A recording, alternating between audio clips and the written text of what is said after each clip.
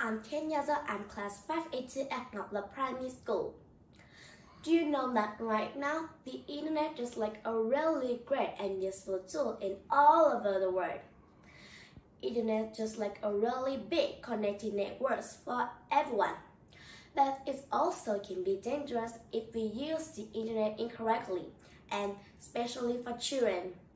Children are the object that the bad guys always focus on.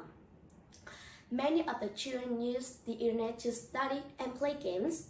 Some of them addicted of online games and few of them won't take their eyes off their TV, iPad, or iPhone. Many of the children consider the internet as their family.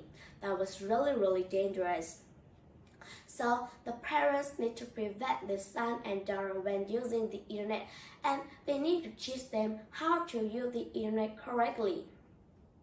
Many of the children were taken by bad guys to take photos of themselves with bad content.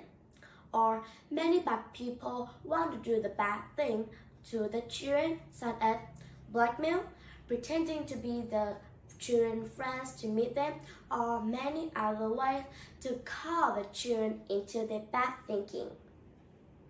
After that, the children, some children will think really bad things in their own dream and some of them want to end their own life. About me, I think that there are many, many other ways and many other big dreams that we can do in the future. And if we end our own life, our family will be really sad. About me, I need to prevent myself when using the internet too. I need to know that what is good to watch and what is not.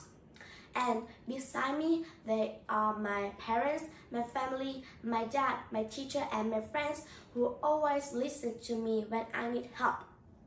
So, how about you? Can you tell me more about things that you need to do and when do you preventing yourself when using the internet?